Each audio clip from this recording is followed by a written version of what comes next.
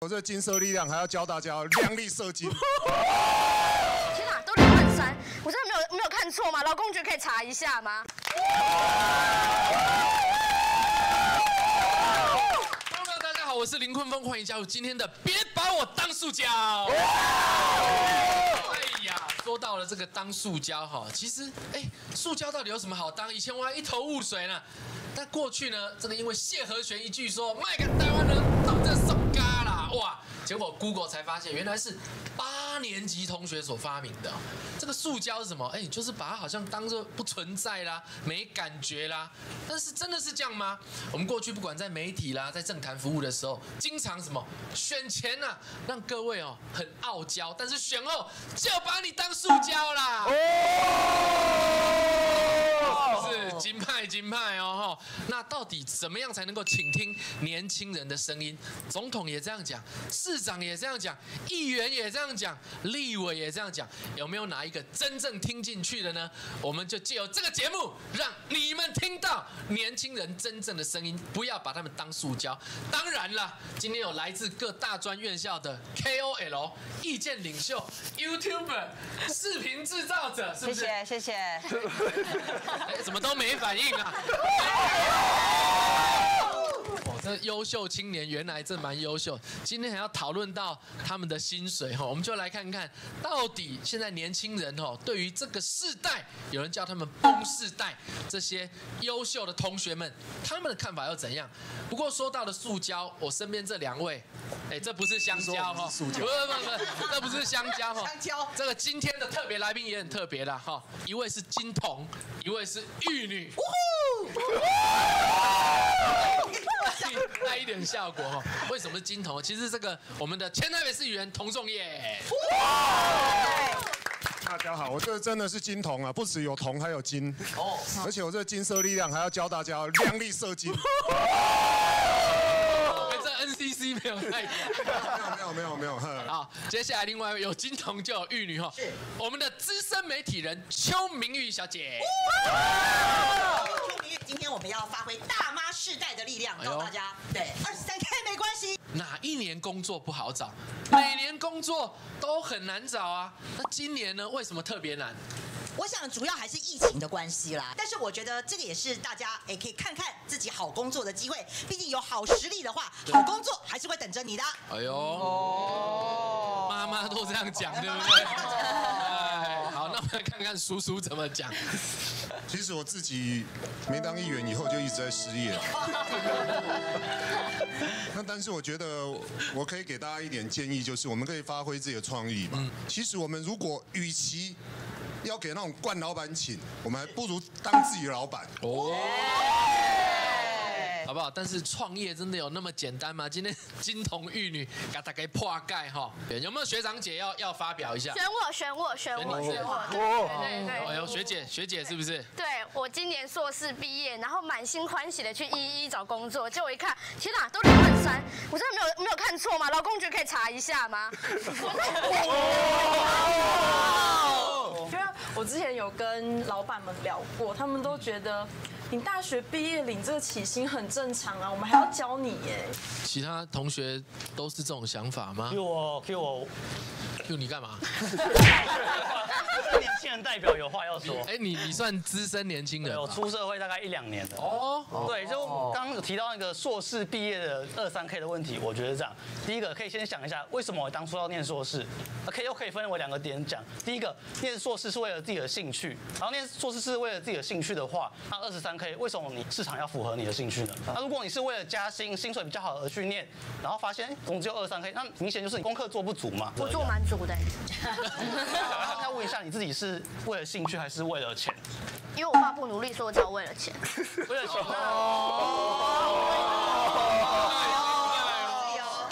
他做了功课发现二十三 K，然后又是为了钱，那为什么不转换跑道呢？我想换啊，但没东西换啊。就开可以开始是努力去学啦，就是有很多机会啊。像我一开始原本是经济系，那我现在也做完全跟经济没有关系的事情，因为我下去做，不是只有想。你不觉得这样人生很徒劳吗？那就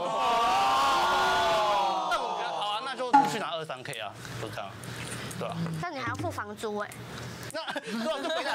那你不想拿那个钱，所以你住家里对不对？对啊，住家里。好，啊结案吧，结案了。其实有没有住家里在台北是差很多那。你可以住他家里。秀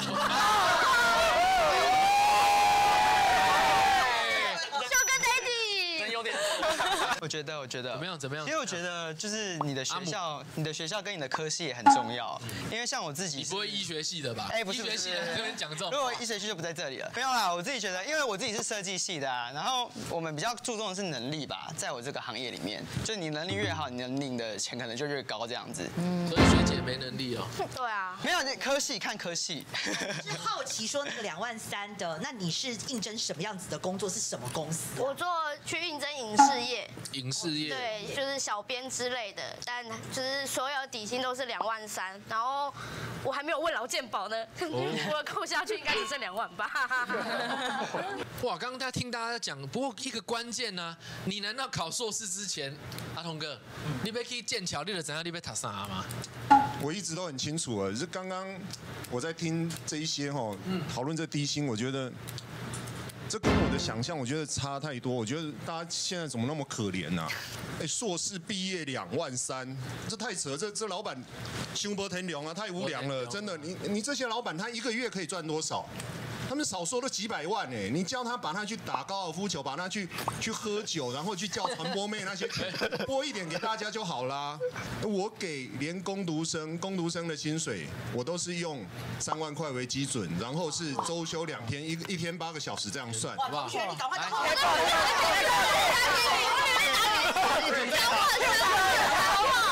所以现在来应来应征的真的很多，但是我我只能请两个，我都可以做得到。那一些老板每天过得那么好，每天山珍海味，然后不是说有包二奶、三奶、四奶，包一堆，你把你包二奶、三奶的钱给给大家就好了。真的。必须凭良心讲，就说呃，如果两万三，大概他是国内的硕士哈，如果国外硕士，当然就是可能再加个五千块。可是对老板来讲的话，当然他会希望说你来这个公司，你要争取好的薪水，你要跟我讲说，哎，你能帮我公司带来什么？虽然我是菜鸟，可是剪接啊，对不对哈？这个什么公关啊，什么我通通都会啊，你写 PowerPoint 的我都会啊，所以我不止这个价钱啊，你那那我要问嘉妮，嘉妮，好，就是我觉得如果我要找工作的话，我会考量到说这个工作它有没有可能让我升迁的机会，然后就是其实短期内可能一年之内的低薪，我觉得我还是比较可以接受的。就如果它有调整的这个幅度跟空间的话，我觉得我应该还是会做下去，就当做累积经验。可是如果它比较就是没有弹性的话，我可能就会考虑就是离开，就是再找下一个工作。哎、可是你们现在找工作之前会不会考虑太多？但是我觉得就是呃，工作在对自己的人生履历算蛮重要的，所以还是要谨慎。我觉得这个世代遇到疫情，每个年轻人都遇到这样子的不友善的情况，整个世界都是这样的情况的时候，那更不要提这个才升大二。哎，你三年后我觉得工作也不好找，自己会不会听学长姐讲一讲开始害怕？其实我觉得现在就是，对啊，就是也是找不到工作，而且我觉得重点就是有没有移动？是否要关闭测速照相？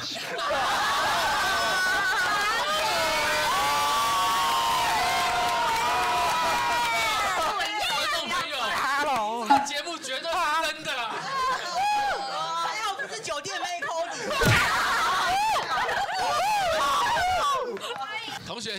好，就我觉得我们现在不靠父母，我们根本就没办法活啊！你看硕士出来才二十三 K，然后想结婚，然后想买房子都不可能啊！之前有个研究，就是读顶大的人家里都比较有钱，就是因为他们有钱，他们才有办法去学一些才艺，学英文啊，学一些外文，然后出国交换，然后增加自己的竞争力啊。然后我们没有钱，我们就没有办法做这些事情，我们就只能就是低薪，然后阶级复制啊，这就是阶级复制。我有想法，就是我有时候在怀疑一件事情：台湾居然要要求学生，我们从小时候就是要要求说，我们要学好国文、数学，还有一些理科，也要兼具勇气、智慧。所以我在怀疑是台湾是不是一个发展太空科技的一个地方？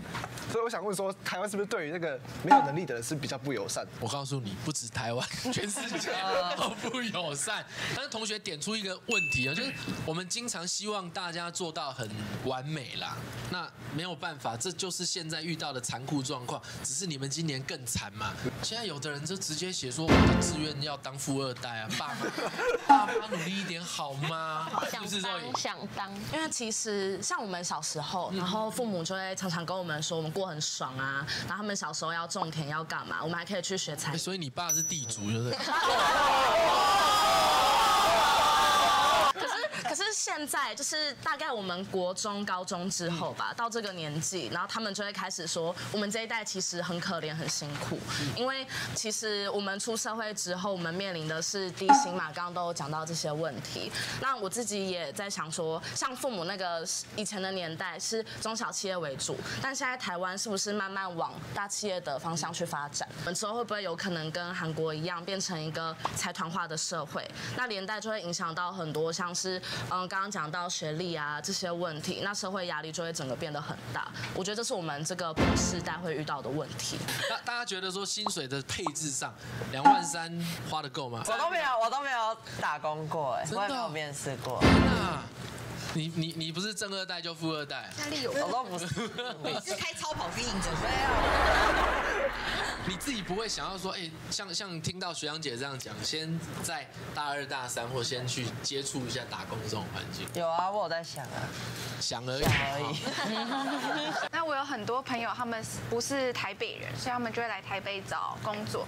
其实台北工作薪水没有比较多，但就是有职缺，所以他们就上台北来。但上台北面临的第一个问题就是他们要租房子，可能八千多到一万，然后你一半的薪水就没有，然后有些人还有保险费，所以这样子的薪水根本存不到钱。我现在还没有找工作有压力，可是就是如果出社会之后是两万三的话，其实你包括像是比较热门的工作都在大都市的话，你要来从乡下或者比较比较哎你是台北，你是在台北出生？没有台南人，哦，台南人哦。台南是乡下吗？而我住的地方是乡下。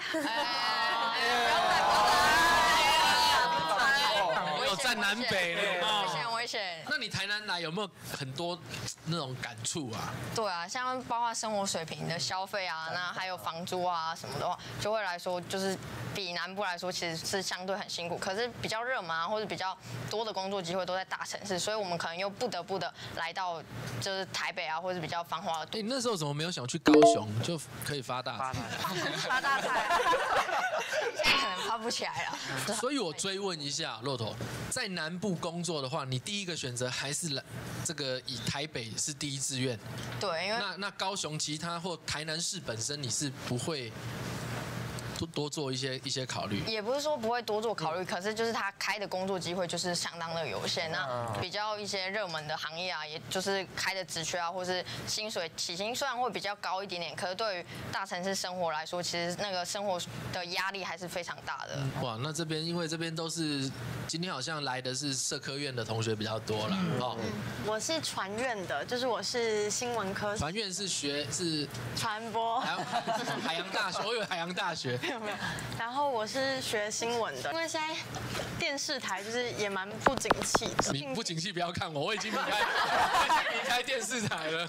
所以我可能会倾向住家里，因为像我是基隆人，嗯然后电视台很多都在内湖嘛，然后其实蛮近的，然后通勤的人也很多，所以我应该就会住家里通勤。然后钱那么少的话，基本上我也会觉得说，可能呃这些钱就是够我自己一个人去做一些开销的动作，所以我其实现在的状况也不会想要结婚，也不会想要生小孩，就是觉得好像如果要做这些行为的话，就会有一个重担这样子。提供一个比较正能量的啦，哈，有啊有啊比如说像这边的同学，如果还在学想政治系的话，我认为就是说你在学的时候就应该要去寻求跟你相关科系打工的机会，比如说像传阅的，你就可以去电视台打工，对。那你在电视台里面，你又可以赚到工读生的钱啊，帮你负担一点房租。那另外你可以学习剪接啊，学习写稿子啊，学习过音啊，对不对？大家下班之后赶快来找小玉姐写稿子。就说 你们把 email 留给我，我可以帮你们寄到到各大电视台。好认真。好吧那比如说你们两个政治系同学，你们如果说曾有想进政治，是不是现在暑假期间，你们就应该找立委啦、找议员啦，在办公室去打工？真的哦对，然后打工让他们听听年轻人的声音啦。对啊，那出来不是就比较好找工作吗？总比说你去手珍珠奶茶店摇了一百杯，摇了一千杯，然后你来跟我应征，我说你会什么？我只会摇珍珠奶茶。那你摇一千杯，你要跟你的记者相关你，干脆就创业自己当那个奶茶店对，除非。你去加油站什么，你要当加油站小开，我没有意见。可是真的，大家在学的时候，千万不要放弃这种实习攻读的机会。你会比你看你二年级进去打工，你在电视台打工两年，比你在加油站、在珍珠奶茶店工作两年，你的经验就比别人多。而且你出来的时候，你就可以比别人多两年的这个相关科技经验，是不是呢？对不对？谢谢小玉姐。好说的说的太好了，刚刚差不多说了四分钟，我们把它剪到剩四十秒。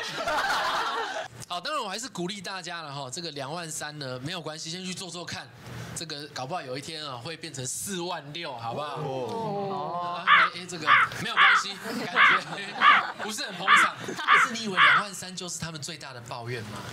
错了，他们的人生有更多的有更多的抱怨，我们继续追下去，别把我当塑胶。